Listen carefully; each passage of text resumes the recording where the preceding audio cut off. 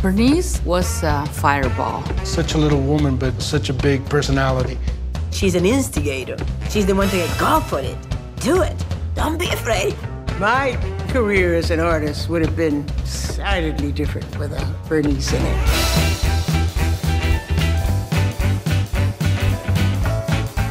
What we do as dealer artists is so intimate. It's like standing naked in Times Square and saying, Look at me.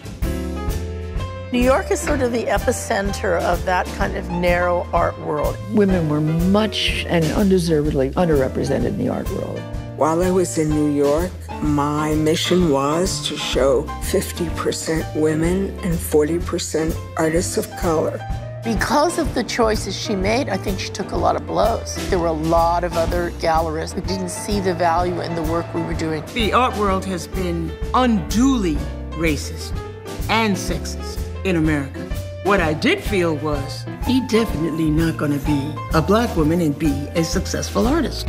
I want to choose those people who will make the annals of art history. I never thought art could be a profession, especially in China. That kind of dictatorship really kills individuality. When you are a petite black woman, how difficult is to find people willing or ready to take the risk of saying this is valuable, this is important. Bernice did that. People are very critical sometimes of what he does, but sometimes you need to create things that are really out there. Artists don't follow all the rules exactly. Before you knew it, the feds were knocking at the door.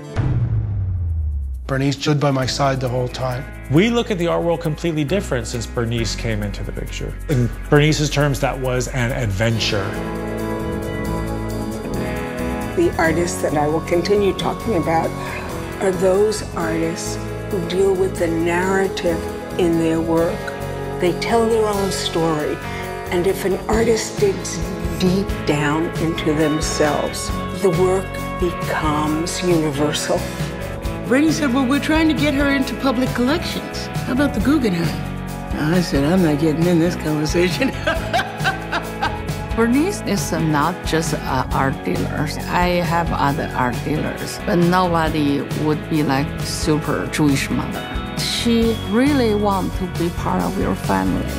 She was that when there were no many believers. That is all that you need sometimes. Somebody who say, I believe in you, so just go for it. Artists make magic. I'm still of that theory. And the dealer at best gets to stand in the room next to where the potions are made.